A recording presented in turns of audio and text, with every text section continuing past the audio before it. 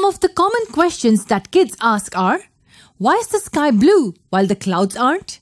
Why is the sun yellow? And why does it turn reddish orange during sunrise and sunset?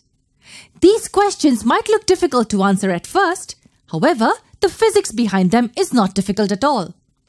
There are two things that play an important role in giving a color to the sky.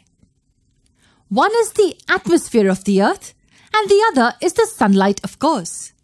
So we need to know more about these two first. The white light coming from the sun is a mixture of seven primary colors, and each colored light has a corresponding frequency and wavelength associated with it. The violet colored light has the shortest wavelength of all, while the red one has the largest wavelength. And what forms the Earth's atmosphere?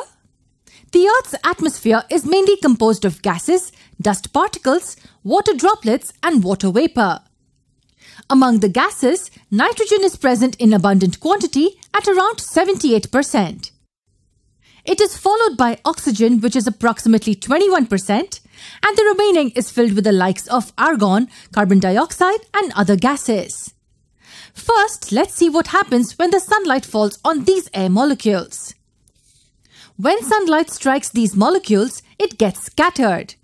Scattering is a process in which the light is absorbed by the atoms and re-emitted back in various directions.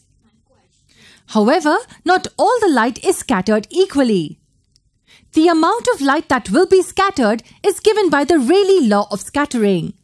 It says that the amount of scattered light or the intensity of the scattered light is inversely proportional to the fourth power of the wavelength of a wave. I is inversely proportional to lambda to the fourth power. If the value of lambda increases, then the intensity will be lower. If its value decreases, then the intensity of scattering will be more. Lesser the wavelength, more will be the scattering. So now, I want you to tell me, among the seven colors of sunlight, which one will be scattered the most?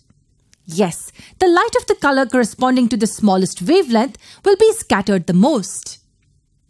So blue, indigo and violet light will be scattered most by these molecules of air.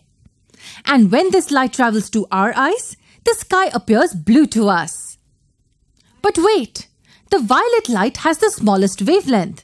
Then why doesn't the sky appear violet or even indigo for that matter? It is true that the sky scatters the violet light more than the blue light. However, we don't see violet sky, do we? What's the reason? The following graph tells us how much of a particular wavelength is emitted by the sun. Observe the graph well. As you can see, the sun emits more blue and light bluish light compared to the violet light. Hence, more blue light is scattered by the air molecules, resulting in the blue color of the sky. And another reason why we cannot see violet light is because our eyes are more sensitive to blue light than to violet light. So this was about how the gases present in the atmosphere scatter light. Do dust particles and water droplets also scatter light? Yes, they do. They scatter light as well. However, their size is comparatively much bigger than the size of the light waves. And hence they scatter all the colors of light in equal amounts.